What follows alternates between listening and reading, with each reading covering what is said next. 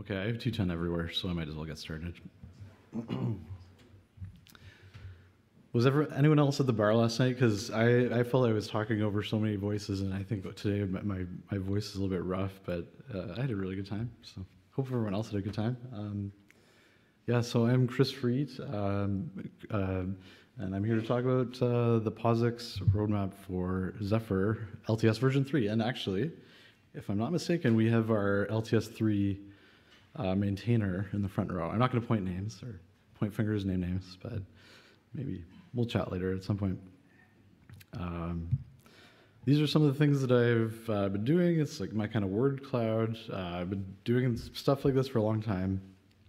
You know, going way back to like Open Embedded, Gentoo, uh, uh, for a long time, essentially. Um, but within the Zephyr community, I'm a maintainer of the POSIX API. I actually have to write these things down because I'm forgetting them all the time. But uh, FPGA maintainer, uh, driver maintainer, I should say, hash utilities thrift, collaborator on C++, C, GPIO, IEEE 802.15.4, Texas Instruments platforms, uh, not yet part of networking, but I have done a bunch of networking stuff. Um, also, uh, because Meta is a uh, a member of the, uh, the Zephyr project. I am lucky enough to have one of the seats on the technical steering committee. So if you guys ever have, you know, issues that you need to escalate, then I'll be there and I'll be able to vote yes or no. Um, and here we go. Uh, if you're at the keynote this morning, I just wanted to point out my, Mario, uh, my manager Mario right here. uh, he did a great talk on some of the things that we do at Meta with Zephyr um, which is amazing because we haven't actually been able to talk about that publicly until recently. So, of course, uh, MSVP, that's our uh, first in-house ASIC developed at Meta. And of course, like, why would we need a video transcoder? Uh, we have over 2 billion global daily active users, and it's still increasing. In terms of monthly, it's a third of the world's population. So people love cat videos. I'm just saying that, you know, like we've got to keep up. So uh, this is um, a link to our actual published document about that, describing that from engineering. Uh, and then, of course, um, we have a high demand for this sort of thing. So, um, just sort of readjusting, one second. Um, in terms of numbers, we have 4 billion views of videos per day on Facebook. So that's a lot. And, uh, you know, how does that affect our systems? Well, that's a huge amount of power consumption, you can imagine. Transcoding, different resolutions, that sort of thing. Um, uh, storage, I mean, obviously the better uh, uh trans, uh, sorry, the better codecs give you better storage metrics. So, and of course, performance. We don't want our CPUs just, you know, mindlessly burning through cycles for no reason. So let's use an ASIC because that's how we accelerate things in the infrastructure world. Um, so yeah, uh, with our ASIC, um, we've achieved 9x faster throughput for H.264, which is great. Uh, 50 50x faster throughput for VP9 encodes. Uh, and then, of course, uh, six times better performance for high quality video on demand.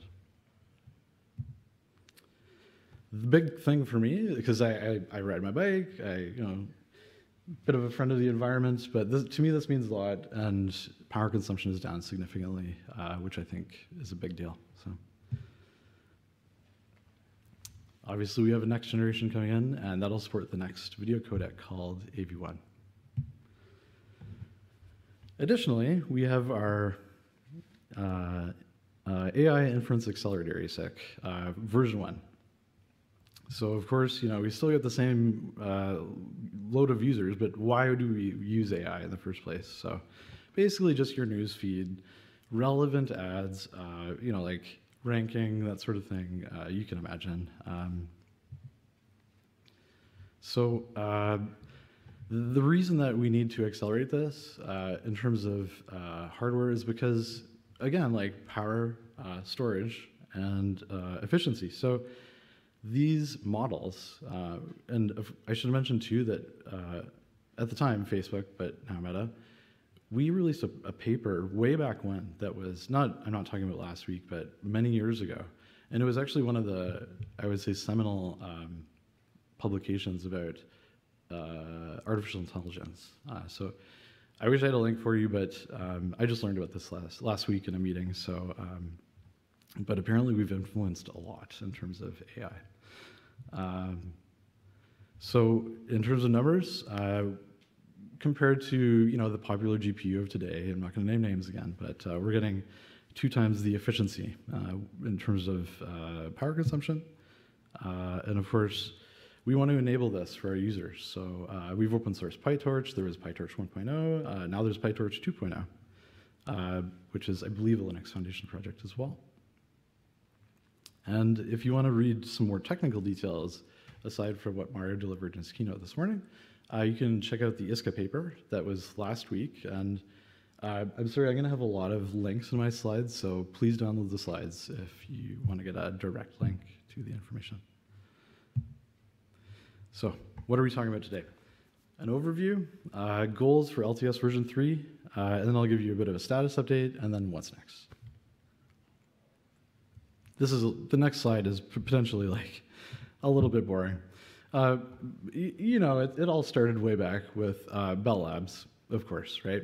Uh, C and Unix were very closely tied together. Um, and of course, uh, once Bell Labs was able to prove that this was portable via the C programming language, it just kind of caught on like wildfire. So we had licensees left, right, and center.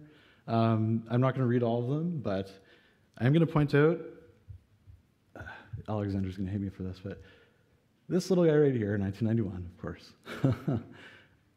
of course, FreeBSD. I'll mention FreeBSD too, but yeah.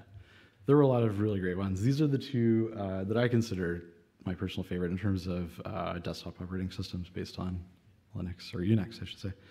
Um, and then, of course, we had, before we had POSIX, we had the single Unix specification, which would have been 1996 approximately. Um, and then that later became POSIX. Uh, so IEEE standard 103, 1003.1. Um, originally released in 1988. And of course, talking about standards, you know, there's as as POSIX has evolved, so has C and C++, uh, and so on and so forth. So, um, you know, I'm no like math expert, but uh, if I look back on this, and I, did a little bit of numbering and stuff like that, um, to me that indicates that this year uh, POSIX has turned 35 years old. So, if anyone wants to guess, over, under, over, under, over, yeah, I'm over. I'm over. I'm older than that. So, uh, and also, I'm no math expert, but that also means uh, this year, uh, Bell Labs Unix turns 50, which is pretty amazing, in my opinion. Get back to that in a second, but uh, and this is I should specify this is since the uh, official uh, public release of it. Now let's look at Zephyr. Uh, Anas gave a really great overview of the history of, of Zephyr. Now I'm just going to do an overview of the history of POSIX and Zephyr uh, really quickly, if I can. So, just looking for my mouse. It's somewhere. And I can't find it. Oh, here it is. Great. Um, so first, uh, 2015 was kind of the original uh, first commit, if you will, for, for Zephyr in its current incanta incantation. The sockets API was introduced by Jukka Rissanen, who is still involved in the project. Uh, he's no longer a network maintainer, but takes a very active role. Uh, really great person to talk to. Uh, of course, the socket API is BSD socket. So Intel introduced the file system API in 2016. Uh, K-Poll, similar to the poll, is 2017. Uh, again, 2017, we got uh, more official sockets API support, and that was via Paul Sokolovsky, who is incidentally the previous POSIX maintainer prior to me. Um, and then we had pthread support added by Andy Ross in 2017. Linaro, we added getaddrinfo, again by Paul Sokolovsky. Uh, Oticon uh, added the POSIX Arch native POSIX support. That was uh, Alberto Escolar Piedras. Um, 2018, POSIX clocks, Intel, uh, POSIX timers, Intel. MQ, Intel, pthread key, pthread once, again, Intel, Mutex, Intel, all 2018. So you can see it's kind of exploding. Uh, things kind of caught on. Um, finally, uh, the uh, the POSIX API configurable. They're like, yeah, we have a POSIX API. Maybe we should put a kconfig for that. Uh, 2018. So things were starting to really escalate. Select, et cetera, et cetera. Um, EventFD, technically not POSIX, but kind of fits into the same basket. So that was added 2019. I added socket pair, uh, and I'll get into the details of this a bit more, but uh, POSIX thread support, not technically compliant because we don't automatically allocate our thread stacks. I made a couple attempts, and it's been several years. Uh, I'm going to touch on that a bit later. Um, but other things, you know, there, there's some additional, uh, you know, additions over time. Uh, rewrite of EventFD, which is really useful for us internally. Uh, pthreads, et cetera, et cetera, et cetera.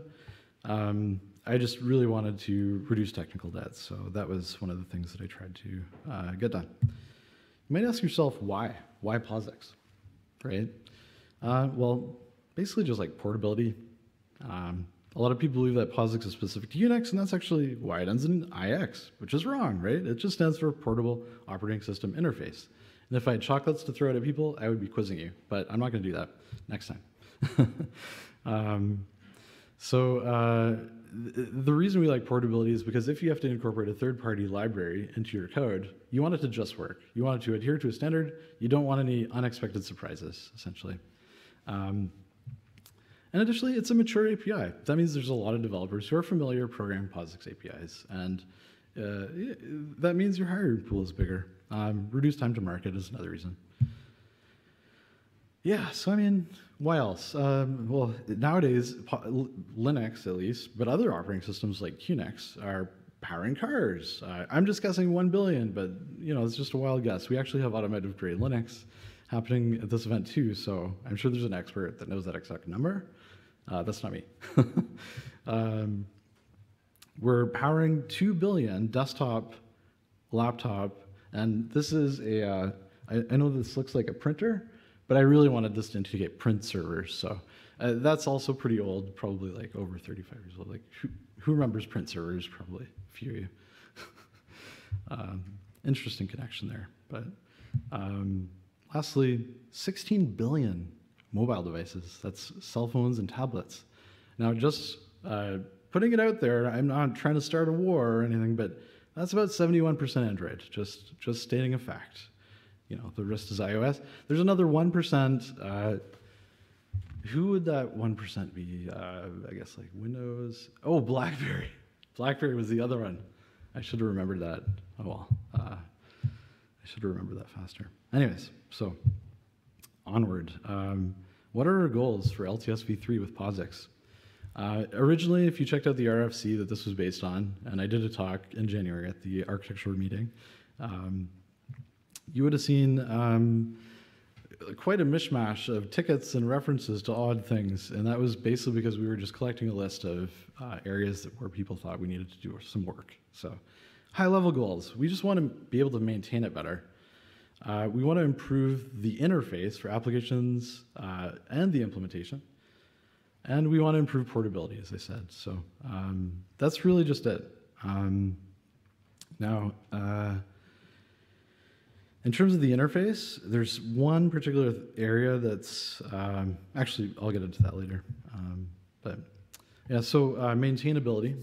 Uh, one of the things that I worked on personally was uh, getting rid of the structure details, i.e., implementation detail for things like pthread mutex, pthread uh, con, uh, condition variables, uh, pthread itself, all sorts of things.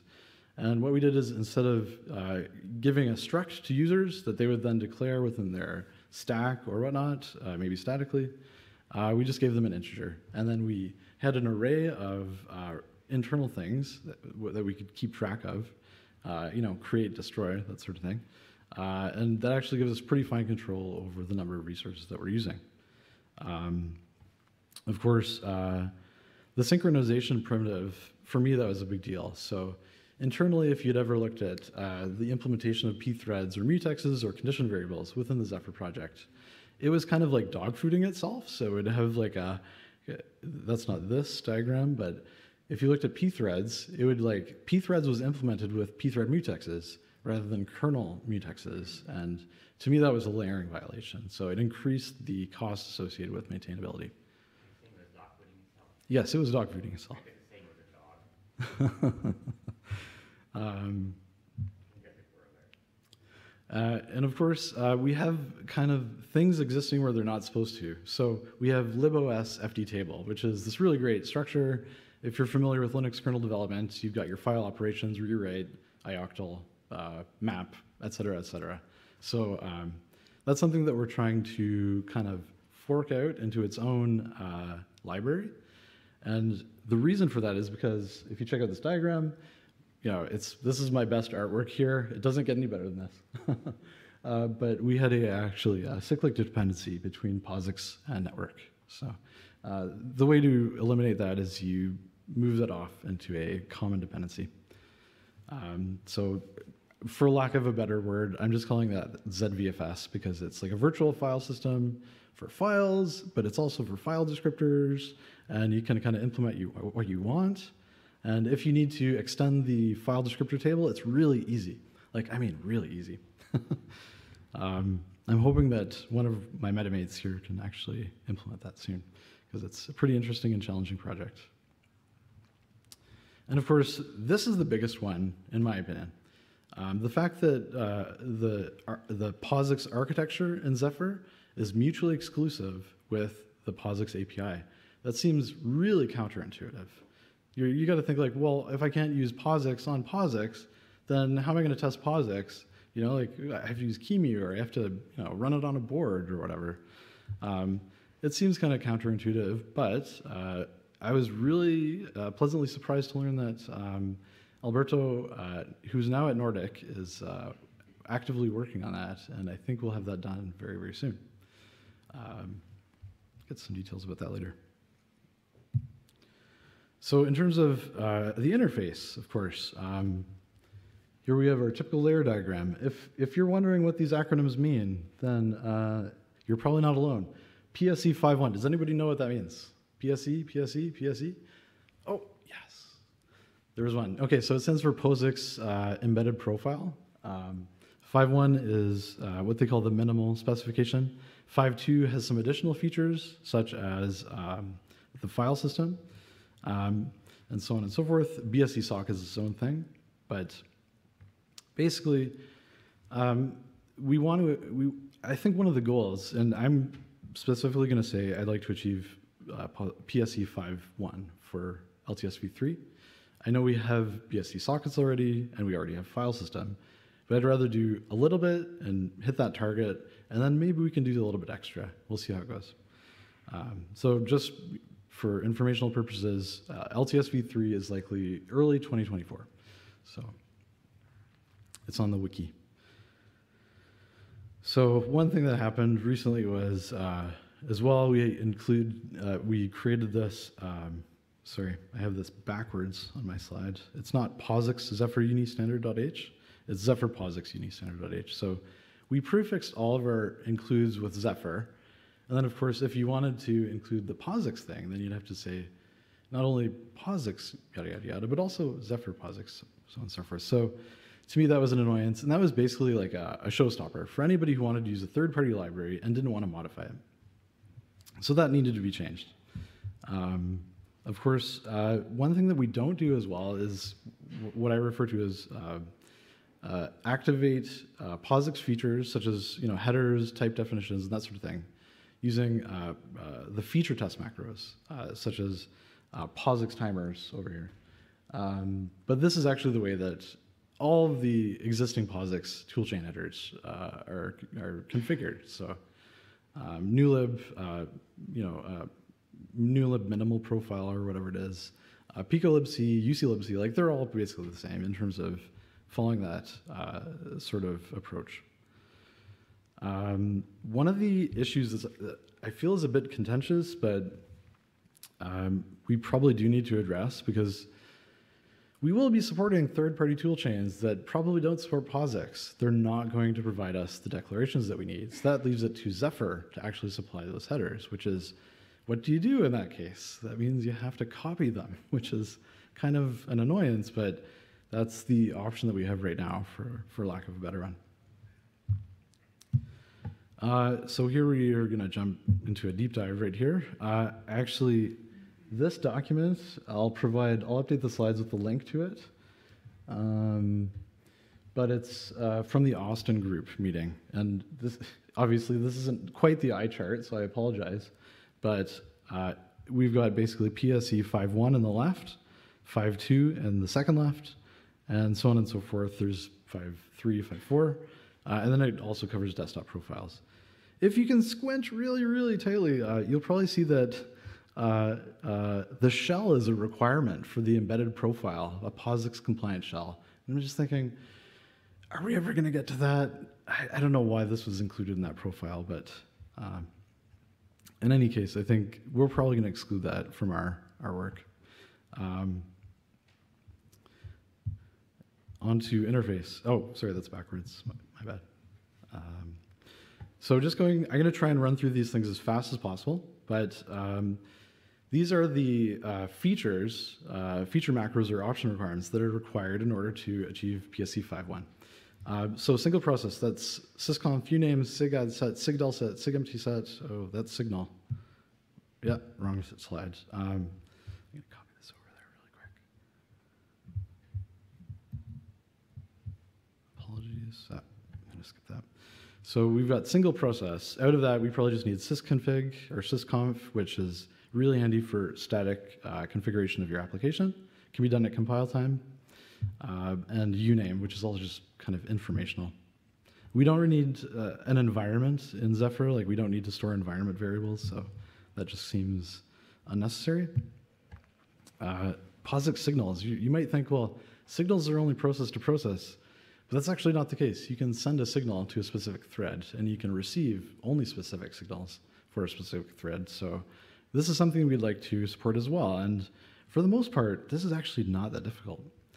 Um, obviously, there's going to be some exceptions, uh, like alarm, pause, raise, whatever. We're not going to kill the whole Zephyr pro, uh, RTOS because of a signal that we've received. So probably not going to implement that part uh, because we're not supporting multiple processes. Uh, thread base, uh, you might think, well, this is practically done. It is almost practically done. Um, but some of the things that we're missing, uh, even though we never spawn another process, is at fork. Like we're never going to spawn another process, but the implementation of that, even if it's not linked to, uh, would help us to achieve that sort of compatibility. Um, additional barrier attributes, uh, also trivial to implement. Get p shared, set p shared. Uh, this is kind of interesting, slightly less trivial to implement. Uh, cleanup push, cleanup pop. Uh, a little bit complicated. I think we'd have to statically allocate resources for that, so it would involve a kconfig. Uh, pthread kill is how we send a signal to another thread. Um, and then sigmask is how we ignore certain signals for our thread. Uh, cancel state, test cancel. Uh, already talking with Keith Packard, who's the Pico libc maintainer, about implementing that. Uh, clock selection. This is actually a really important topic because everybody wants nano sleep. Everybody wants really high resolution timers. Uh, and that's just not for the application. It's for things like radio. Uh, I don't know if we have Florian here in the room, but he's implementing uh, TSCH for 802.15.4. Uh, that's like a direct use of that. Uh, but basically, any highly reliable system has to have pretty reliable clocking. Um, things like set clock, get clock, you can do that for multiple clocks. So we've got the real-time clock, which is like your calendar date and time. And then of course you've got monotonic, which obviously you probably wouldn't want to update, but that's actually pretty uh, important for um, for uh, you know getting your uh, accurate nanosecond accurate time.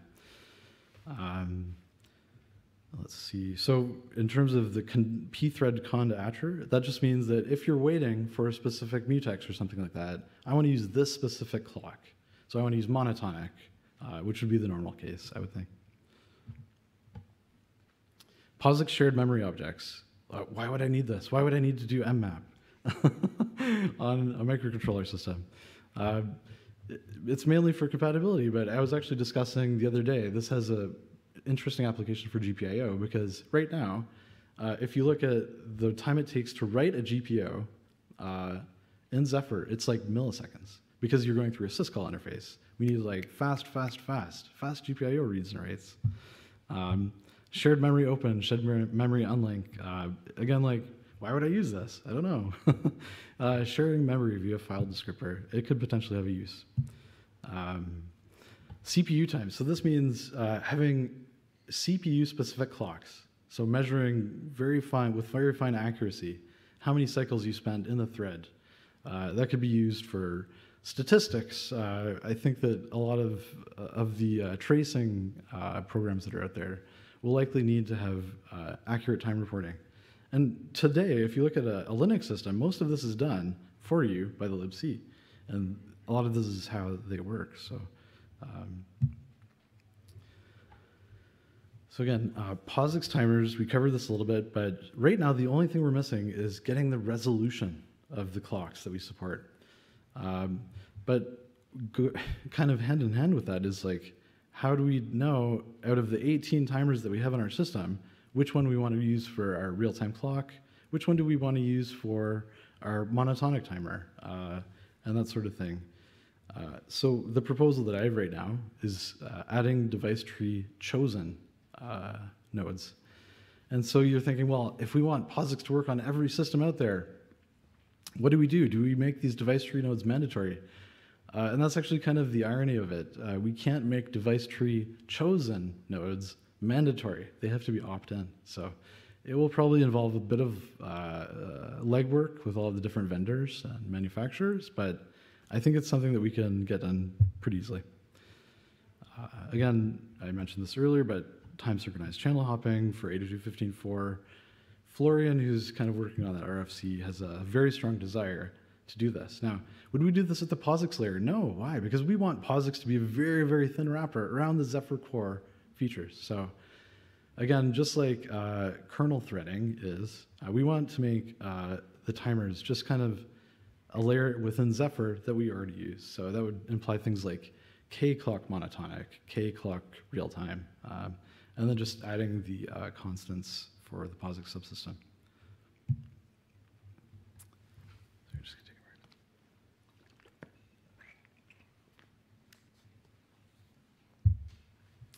So how are we doing? Since becoming maintainer, um, after six months, I got nine out of the 16 tasks in my RFC complete. So yeah, uh, again, a link to the two, 2023 January slides from the architecture meeting. Um, so yay.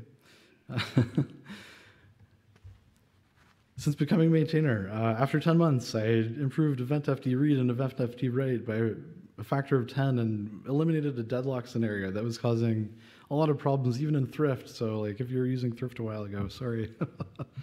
um, yay. There was only just one minor bug, and actually, uh, Mar- uh, Marcin Niestroj, he, uh, he submitted the fix for that very shortly after. So that would be in 341 for those who are curious. Um, again, here we are. Um, uh, sorry for the eye chart, but this is just kind of your typical uh, Z test output. Uh, this is for the pthread pressure test, so you can run it today uh, on various architectures and on hardware. Uh, after 11 months, I, uh, in- I increased the performance of pthread create and pthread join back to back in a stress test by an almost infinite amount because previously it crashed, so you can actually measure it. Um, yeah, so that's that's um, that was fun. It was fun to work on. It took me a couple of revs, but we got it running, and it required some help by Andy Ross. And in the process, we discovered some sub uh, sub problems within the kernel threads themselves.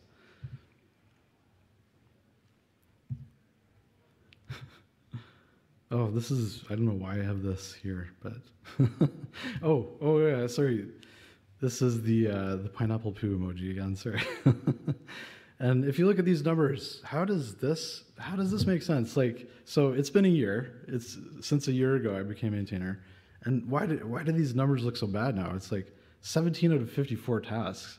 How does that work? Um, according to the RFC, I, I mean, you can click on it right now. Anybody can check it out, but um, it wasn't actually uh, a, you know a problem or anything. We just broke down the complex tasks into smaller, more manageable ones, and that's actually a really good thing because uh, now we're at about 70% completion for everything. If we take all those pretty trivial functions uh, and and you know complete them, so um, I'm going to get some help. I'm hoping so. The next thing, uh, dynamic thread stacks. If you're at the thread uh, thrift talk yesterday, I made an important announcement, but uh, I've been working on pthreads for a while. I mentioned that in the timeline.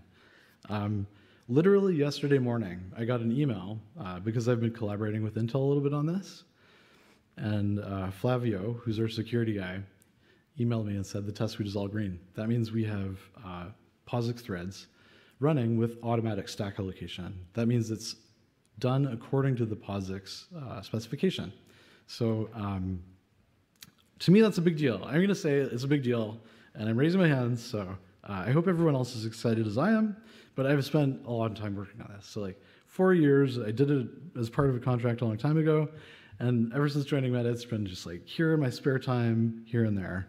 Uh, but to me, this is a big deal. It means P threads, ISO C11 threads, uh, C++ 11 threads, standard mutex, standard condition variable, counting semaphore, binary semaphore, all of those things, lock guards, all the really cool things that you can do with C++.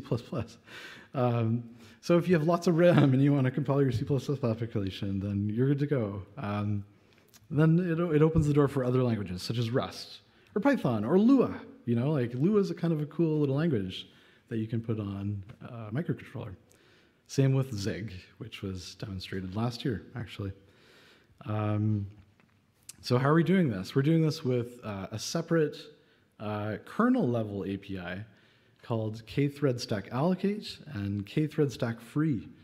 Now, you might be asking, well, what if I'm like in safety critical? You know, I can't do any sort of malloking or. You're going to be safe. You're going to be fine. Um, and sorry that you work in safety critical too, but you know, like everyone's been there. So um, this same API will cover both heap-based allocations and pool-based allocations. So that means it will, underneath the pool-based allocator, it'll just be a static uh, array of threads, stacks that you can that you can you can pick from. So you'll always have a, maximum number that will be running at any given time, and that's the important part. Um, additionally, with this, there's a configurable for if you want to have both you can actually uh, choose the order. So if you want to have heap stack allocations first, then you can do that. But if you want to have pool stack allocations first, then you can do that. Um, and of course, you can have none of those. So you can still use the statically defined thread stacks, and it all works. Um, yeah, so coming soon. Uh, I don't want to, you know, uh,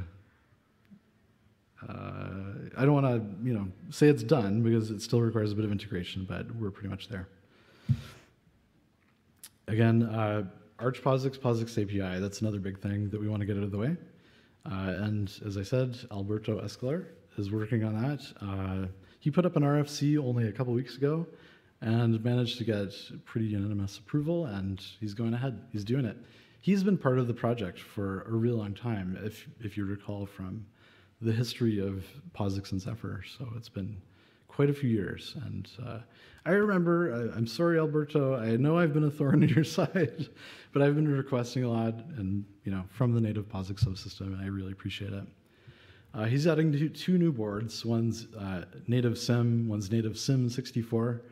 Uh, as far as I know, these will be alongside the existing native POSIX, native POSIX 64.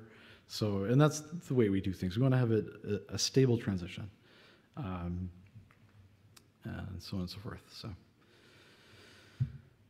so um, currently I have zero collaborators in POSIX, and I'm just saying like we're hiring. I, am not going to give you any money, but like please, please help.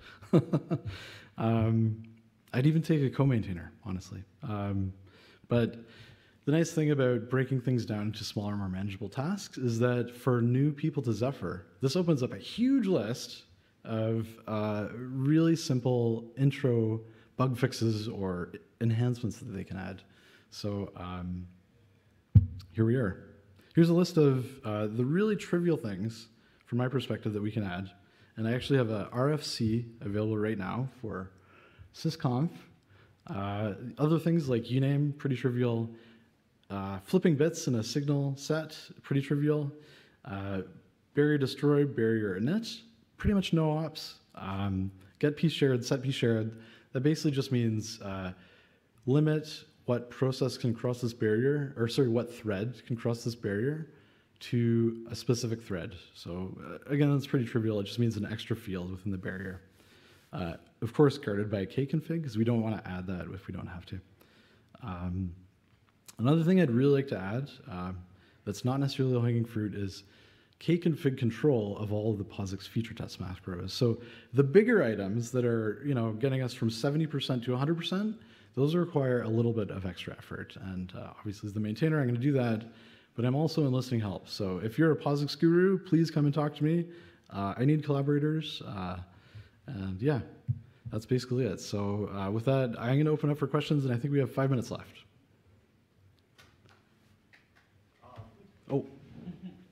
Is there a mic? Oh, there's a mic right here. I I, uh, I think they want to hear you online, though. I can repeat the question if you prefer, but. Oh, there we go. Look at that. Josh has volunteered himself as the runner. Okay, so question one is um, for somebody who doesn't need this, all of this can be compiled out? I? Absolutely, yeah, yeah. Everything. Okay. And second question is, is there a, free version of this code that you can heavily borrow from while doing the? Uh, that's a that's a bit of a tough question. So, one of the things about Zephyr is that we want everything to be Apache 2 licensed if possible. So that means, I mean, we can pull in a BSD3 uh, or BSD2 implementation, but then we need to get we need to get uh, TSC approval if we pull that in. I've just been informed that we only have one minute, so maybe one or two more questions. Oh, three minutes. Okay, three questions. Uh, anyone? We've got a question in the in the back there. Oh, Moritz as well.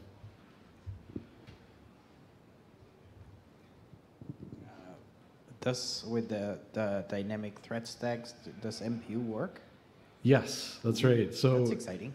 The dynamic thread stacks, that was the biggest thing. I, I basically hit a wall, and uh, I'd only been able to work on this here and there for months. Like, it'd be six months between when I had a chance to work on this. So what happened is that I, I did a rev with some uh, feedback from some reviewers and draft, and then I broke my own diff, which was really sad. Uh, and I hadn't touched it for a while. I spoke with the and he said like, "Oh, Flavio needs this really bad for something we, we're working on." So I'm like, "Oh, okay." Get in touch with Flavio. Two days later, he's like, "You put an ifdef right here." And I'm like, "Ah, that's it." so, yeah, it, it's amazing. Like when you when you step back a bit, you get a couple of extra eyes on the problem. You can, you know, you can get there. But um, question right here well. Yes, um, Maybe you have already mentioned during your talk, but do you use some kind of official conformity test? There is one. Um, it costs money and not monopoly money and not the money that I have on my credit card. So uh, it's something that the Zephyr project might consider if this is something that's val- valuable enough to our members. But I can't, you know, you know, promise anything. But there is a performance test suite. Yeah. Then how do you test to make sure that your code actually complies? Oh, okay. Sorry. Yeah. There's there's there are tons of POSIX test suites within Zephyr itself. Uh, I thought you meant like compliance, actual like certification, but But you make your, you have your own test. we we have our own. That's right. We have a pretty mature test suite. So Okay, thank you. thanks. Um, maybe one extra minute. Uh, I think we're good. So, okay. Thanks everyone.